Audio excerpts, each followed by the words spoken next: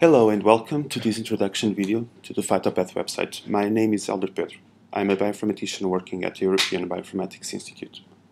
Phytopath is an integrative resource for genomic data of plant pathogens, focused mostly on fungi and protists, but also including bacteria.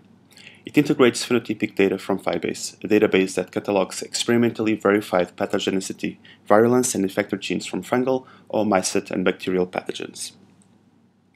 The Phytopath website is accessible at www.phytopathdb.org. It functions as an entry portal to the plant pathogen resource available in Ensembl Genomes.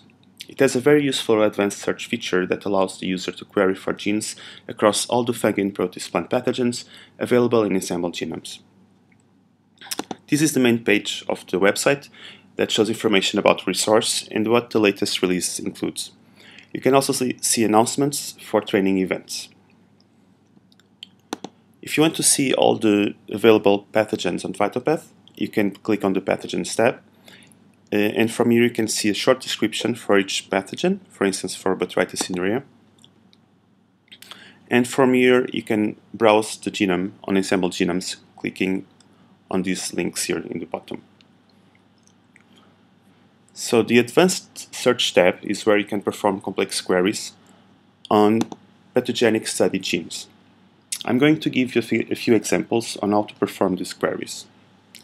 In the first time you land at the Advanced Search page, you see a query builder that consists of two panels, the organisms and the filter.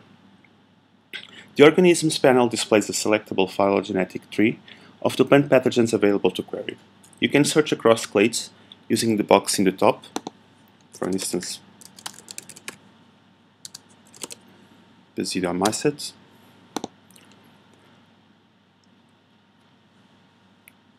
In this way, you can select an, in, an entire clade or a single species.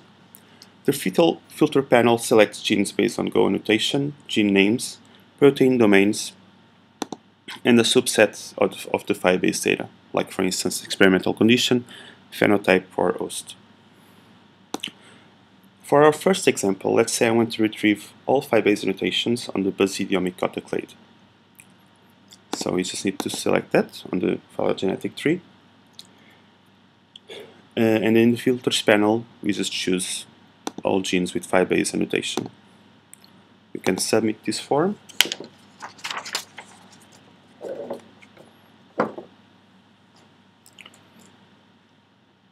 And the resulting table shows the PHI-base IDs, the gene names, descriptions, host, phenotype and condition for that annotation. If you want to see more information, you click on show ith columns where you can get GO data or InterPro as you can see here and also protein domains. So the queries are stored in your current session. You can see all the queries you performed in this session in the Query Management tab.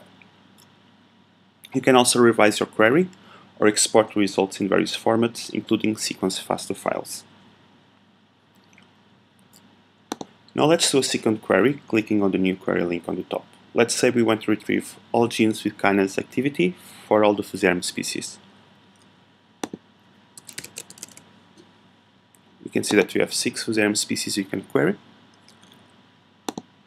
in this, in this time you go for GO term name and type kinase and select activity and submit again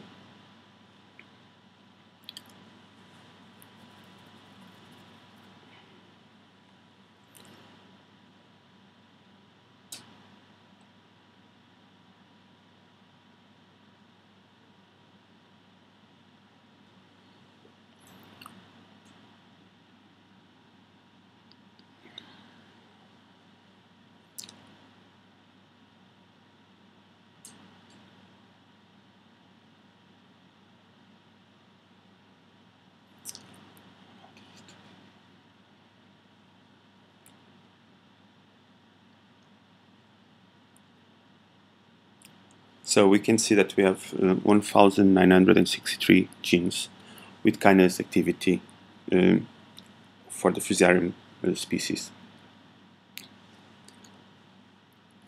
Now let's revise our query and add a second file filter. So we click on revise.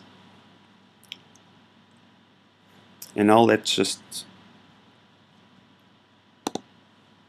uh, query for genes with kinase activity, but also that have a PHI-base annotation.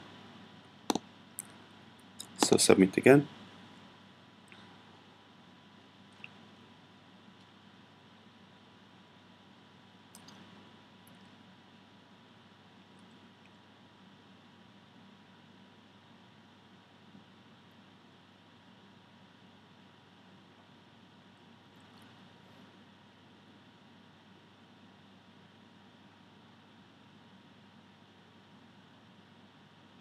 So this reduces the number of genes to 929. So all genes with kinase activity that are annotated on PHI-base. Now imagine that you want to retrieve all the Ascomycota genes tested in Apple, Apple and Pear. In this case, we can apply several filters to get this set. We need to join two different queries, one for Apple and another one for Pear. I'm just going to perform both queries. So, new query, Ascomycota you can go here to host and select Apple.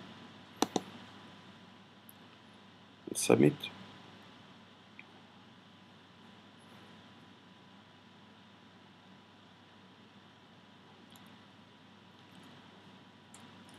And I'll do the same thing but for the other hosts that is Pear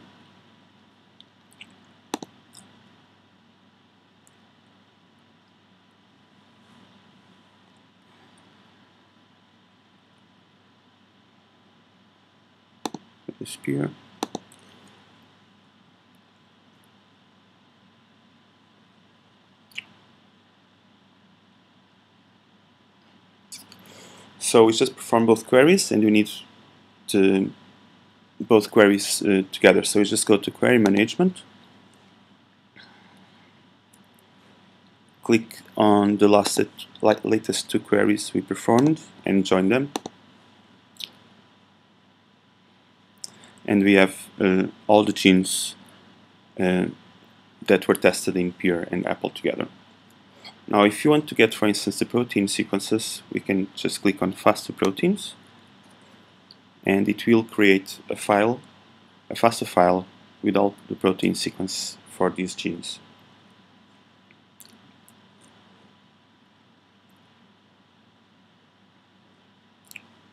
The link will appear in the FASTA download column on the query management system and you can download the file to your computer. Hope you enjoyed this brief tutorial to the Phytopath website Advanced Search. Cheers!